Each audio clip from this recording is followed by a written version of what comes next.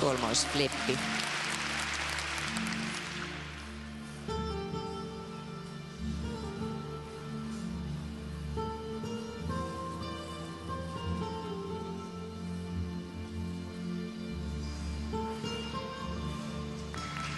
Kolmoistulppi, kaksoistulppi.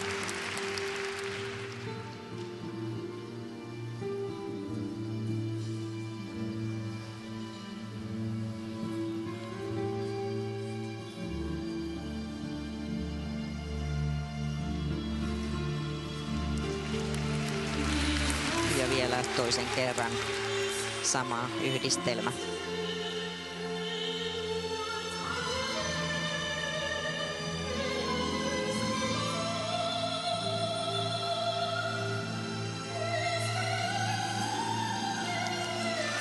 Ja ohjelman alun hyppykimaraan vielä onnistunut kolmoissalkko.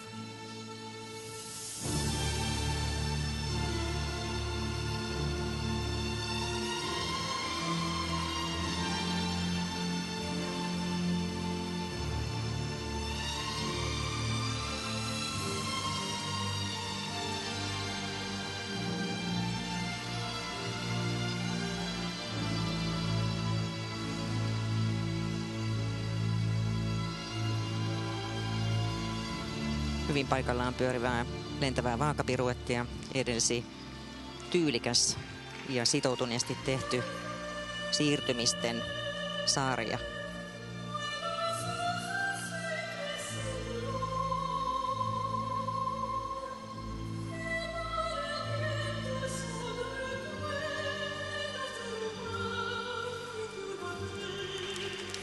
Kolmen hypyn yhdistelmä jää tuosta viimeisestä hypystä vajaaksi.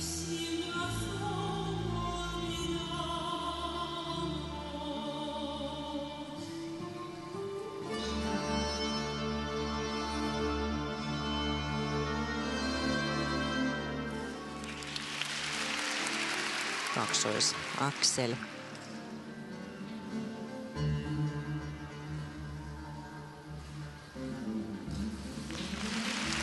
Ja vielä toinen.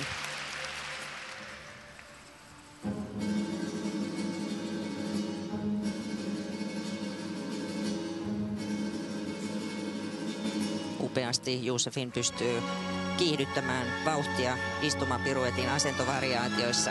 Erittäin hieno ominaisuus.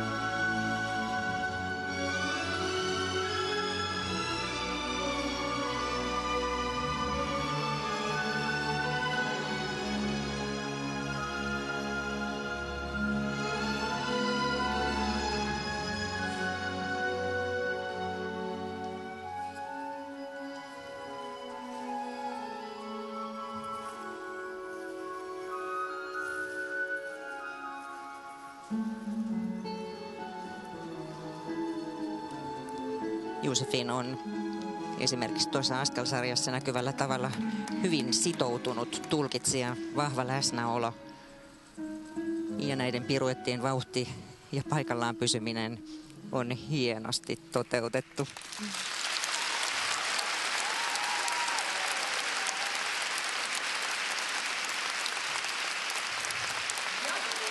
Josefin Taljegård, omaleimainen ruotsalainen luistelija. Pidän myös hänen tavastaan hyvin vaivattomasti ja nopeasti kasvattaa ja vaihdella vauhtia luisteluohjelman aikana.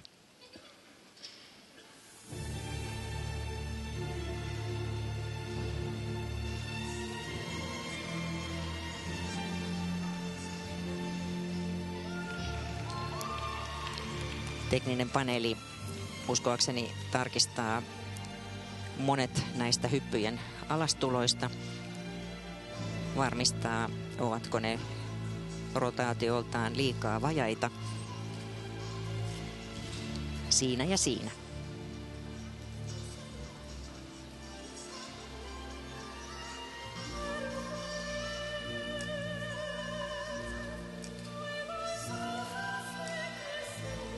Kaksoisflip, kaksoisritti ja kaksoisritti tuossa kolmen hypyn yhdistelmässä, joista viimeiseen vauhti hiukan loppui.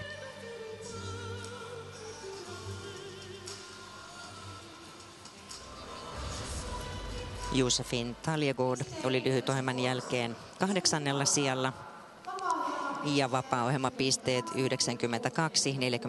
kertovat siitä, että siellä varmasti tekninen paneeli on vajaita hyppyjä löytänyt. Yhteispisteet 143, 74. Josefin menee tässä vaiheessa kolmanneksi.